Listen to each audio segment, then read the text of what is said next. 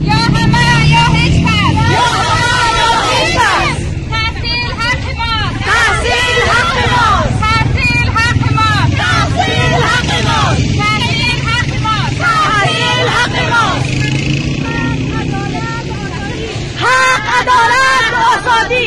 سازمان ملل سکوتت را حق عدالت آزادی را بشکن سازمان ملل سکوتت را بشکن سازمان ملل سکوتت را بشکن زنان نیمی از پیکر جامعه است زنان نیمی از پیکر از جامعه است. زنان نیمی از پیکر جامعه است زنان نیمی از پیکر جامعه است. روز را م- م- اعضای اتحاد و همبستگی بانوان تخار و جنبش شنبه ارغوانی برای مردم رنج دیده و آزادی افغانستان تسلیت عرض می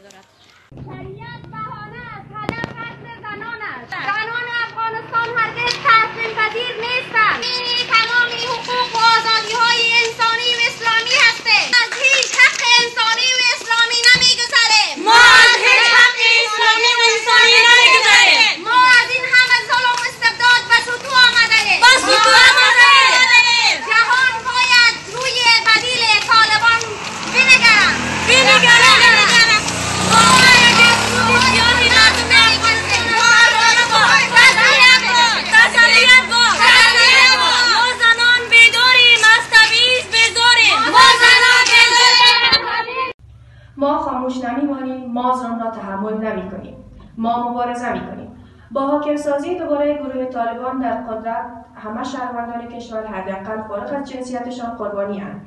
اما این واقعیت تلخ و انکارناپذیر است که زنان اقوام آسیب پذیر و اقلیت‌های مذهبی بیشتر به گونه شکننده و سیستماتیک مورد سرکوب ظلم بیعدالتی بیرحمانه طالبان قرار گرفتند گروه طالبان در سه سال گذشته در کنار جنایات علیه بشریت و آپارتاید جنسیتی، جنایات جنگی، کشتار هدفمند نظامیان و کارمندان حکومت پیشین، کوچ اجباری و نقض گسترده حقوق اساسی شهروندان افغانستان، دست به آزار و اذیت و حتی تجاوز جنسی بر زنان و ویژه بانوان معترض زدهاند که باید پاسخگو قرار گیرند.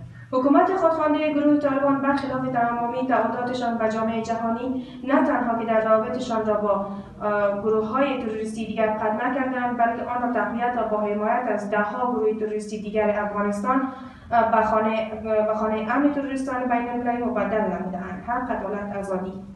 طالبان بدانند ما زنان افغانستان خاموش نمیمانیم. ما ظلم را تحمل نمی کنیم ما مبارزه می کنیم شعار ما حق عدالت و آزادی است. ما خاموش نمیمانیم ما ظلم را تحمل نمی کنیم ما مبارزه می کنیم حق عدالت آزادی.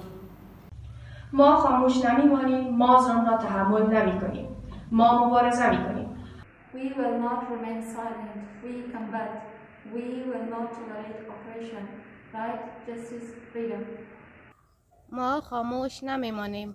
ما ظلم را تحمل نمی کنیم ما مبارزه می کنیم حق عدالت آزادی.